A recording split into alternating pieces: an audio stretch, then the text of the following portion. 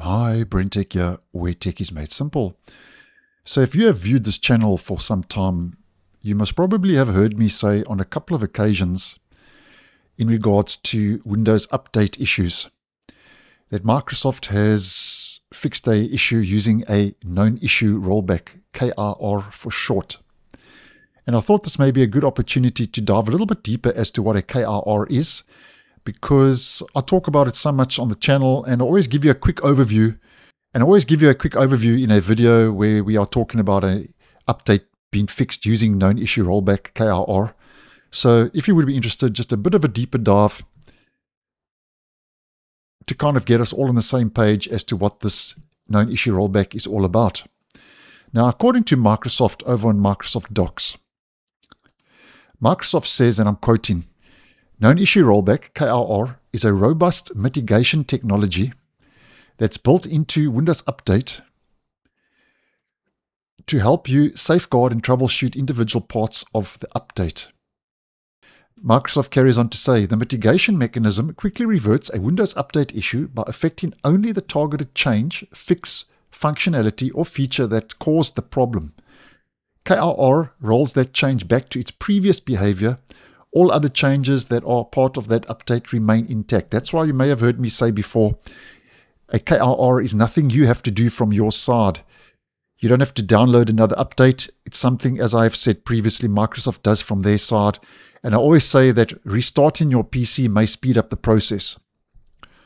Now, Microsoft also gives us the motivation behind KIR, saying that historically, basically up until KIR was introduced, if a Windows update, like a lot of updates do, encountered an issue, the Windows user or organizational IT admin had the following options. So this is before Microsoft used KIR. The first option you would have with a problem update would be to uninstall the entire update, which Microsoft says would prevent you from getting the latest security updates and then leaving your device less secure. Or you could skip the entire update, as in pause it or not download the update. But this option once again prevents you from getting the latest security updates, leaving your device once again less secure. Or you could deploy the update and wait for the fix to become available. But this obviously isn't a very viable option, especially if you're suffering from blue screens or crashes so this option could hamper productivity according to Microsoft. So those are the three options you had before Microsoft introduced known issue rollback. So because of this, to address security and productivity concerns, Microsoft says it created known issue rollback. Now KIR, Microsoft mentions, is a technology solution that allows you to be productive while minimizing the effects on security or compliance and productivity. And it's mentioned that KIR came together as a functionally complete system beginning in Windows 10 version 2004.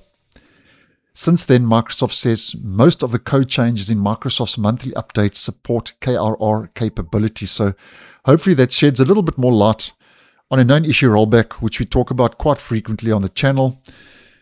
So I thought just a bit of a deeper dive just to get us all on the same page in case you are wondering what a KIR is when I mention that with update issues. So thanks for watching and I'll see you in the next one.